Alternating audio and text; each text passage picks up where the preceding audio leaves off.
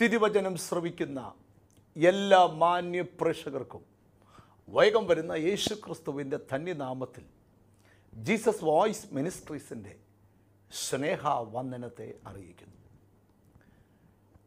ഇന്നത്തെ ദൈവവചന ധ്യാനത്തിനായി ഒന്ന് യോഹന്നാന്റെ ലേഖനം മൂന്നാമധ്യായം എട്ടാമത്തെ വാക്യം. പാപം ചെയ്യുന്നവൻ പിശാചിന്റെ മകൻ ആകുന്നു. പിശാജ് ആദ്യം മുതൽ പാപം ചെയ്യുന്നുവല്ലോ. പിശാജിന്റെ പ്രവർത്തികളെ അഴിപ്പാൻ തന്നെ ദൈവപുത്രൻ പ്രത്യക്ഷനായി. യോഹനാന പോസ്തലിന് എഴുതുകയാണ് പിശാജിന്റെ പ്രവർത്തികളെ അഴിപ്പാനാണ് ദൈവപുത്രൻ പ്രത്യക്ഷനായത്. ഈ ഭൂമി ദുഷ്ടന്റെ അധീനതയിൽ കിടക്കുന്നുവെന്ന് വചനം നമ്മെ പഠിപ്പിക്കുക. ധാരാളം പൈശാചിക ആസക്തികൾ ഈ ഭൂമിയിലുണ്ട്. ഒട്ടനവധി കുടുംബങ്ങൾ തകർക്കപ്പെടുകയും ഉടയ്ക്കപ്പെടുകയും മുടിക്കപ്പെടുകയും ചെയ്യുന്നു. അവരുടെയൊക്കെ ചോദ്യം പൈശാചിക ശക്തികളാൽ ഞങ്ങൾ എങ്ങനെയാണ് ഇങ്ങനെ തകർക്കപ്പെട്ടത്? പിശാചവന്റെ പ്രവൃത്തി ഈ ഭൂമിയിൽ അഴിച്ചുവിട്ടിരിക്കുമ്പോൾ അതിനെ അതിജീവിക്കുന്ന ഒന്നാണ് ദൈവത്തിന്റെ കൃപ. ഇവിടെ എഴുതിയിരിക്കുകയാണ് പാപം ചെയ്യുന്നവരെല്ലാം പിശാചിന്റെ മക്കളാണ്. അപ്പോൾ അതിന്റെ അർത്ഥം പാപം ചെയ്യാത്തൊരു ജീവിതം നയിക്കാൻ ഒരു വിശുദ്ധ ജീവിതം നയിക്കാൻ നാം ഓരോരുത്തരും തയ്യാറാകണം.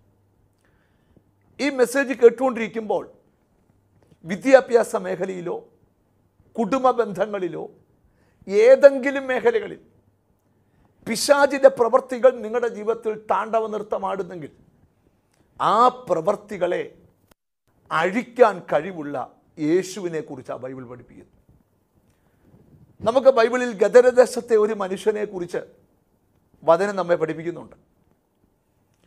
വസ്ത്രം ധരിക്കാതെ കല്ലറകളിൽ അലറി നിലവിളിക്കുന്ന ഒരു മനുഷ്യൻ.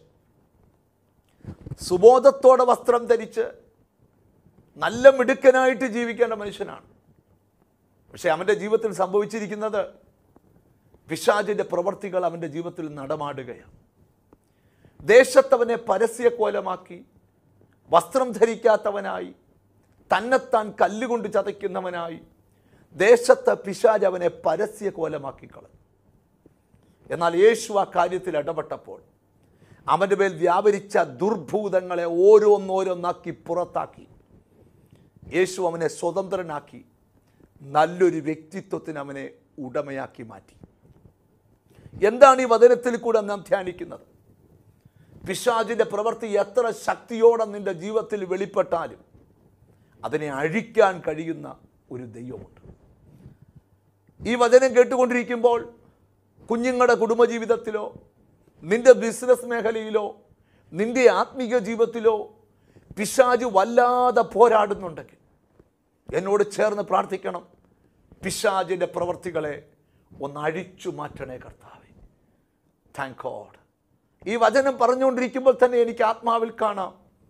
ചില പൈശാചിക പ്രവർത്തികൾ ചിലരുടെ ജീവിതത്തിൽ നിന്ന് അഴിഞ്ഞു പോകുകയാണ്. ബാക്കി ഒരിക്കൽ കൂടെ ശ്രദ്ധിച്ചാട്ട്. പിശാജിന്റെ പ്രവർത്തികളെ അഴിപ്പാൻ തന്നെ ദൈവപുത്രൻ പ്രത്യക്ഷനായി.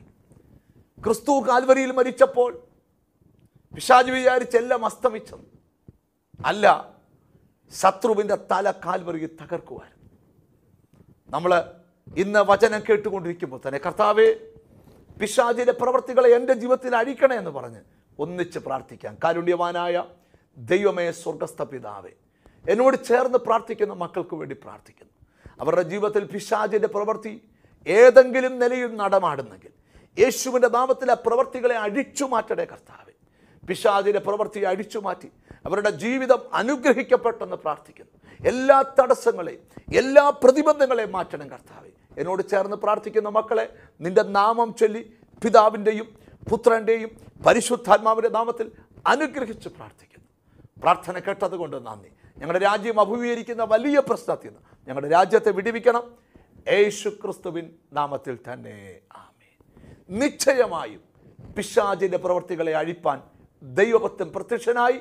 God bless you